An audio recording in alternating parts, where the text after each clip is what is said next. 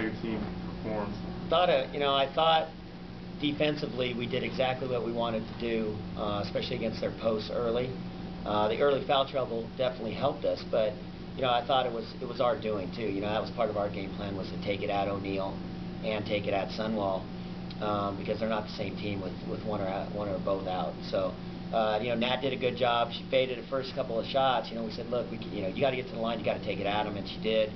Um, I really think Fager once again came in and gave us a big spark when things were, you know, kind of even at that point and came in and hit a couple of big shots right away.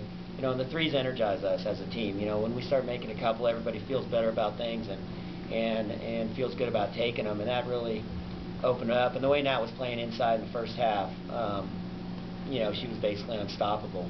And you know, we made the extra pass. She started kicking it out, and they, I mean, they don't, you know, they don't have the athletes or the or the players to stay with Doma or, or a Lightfoot. And then you get the people that you know are contributing. Michelle, you know, contributing on the glass. Like I said, Fager coming in and playing like she did, and, and Bozel, Bozel had a good game. You know, uh, she took it hard to the rim, I thought, and, and shot the ball well. And that's that's what we'd like out of her every game. That, that game right there, and uh, you know, we'll be fine.